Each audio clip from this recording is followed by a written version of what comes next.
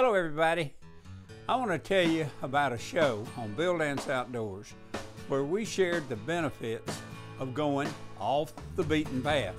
Now, in this show, we're going to remind you of the fact that the bulk of some of the best fishing spots are never fished. Why? Because folks have to leave the easy routes to get there the hard way. Or maybe it's not even that. Maybe some of these spots aren't fished because it's quite simply requires too much extra hard work. Well, in this show, we'll prove it to you that the extra effort often pays off, and most often in good sized bass. I'll be fishing Bass Pro Shop's highly productive laser eye shad in this show. And while we fish along, we'll also share some insight and information that'll really help you to become a better bass angler. On the day we taped this show, the air temperature was 55 degrees, but the water was a little warmer with a thermometer reading of 71 degrees and 3 to 6 foot depths.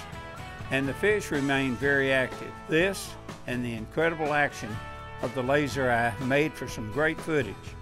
And we're going to show it to you, so please tune in. Oh, big one.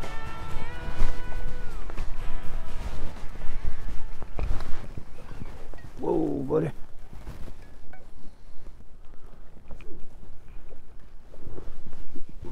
Some fish strong.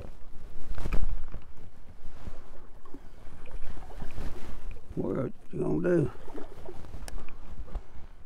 Just determined to stay under that boat.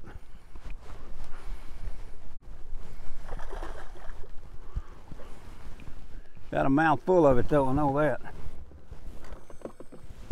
A strong one. So be sure to check out the Laser Eye shad here at Bass Pro Shops and Cabela's. And tune in for this episode of Bill Dance Outdoors. We'll show you why bass love them, as well as why leaving the hard path often leads to lunkers.